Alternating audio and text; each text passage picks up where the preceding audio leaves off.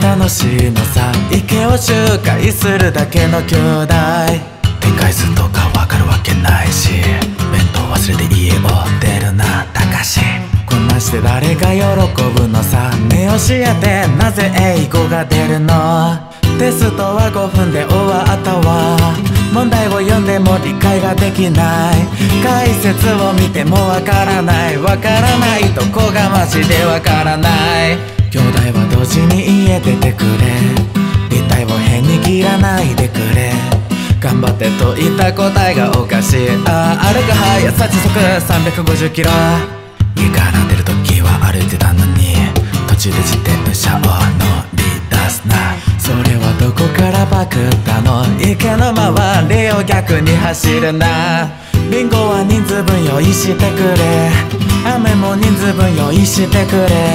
天日と天気は動かないで。確率の問題大体1を超える。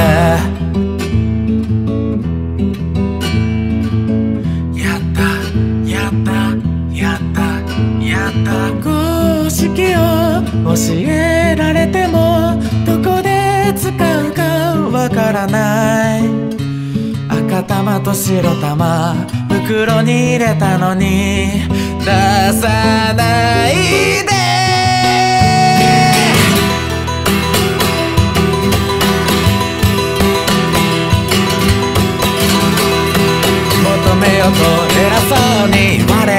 腹立つ。値段わからずに物買うな。買いがないなら聞かないで。恋の表と裏が出る。確率がそんなに気になるな。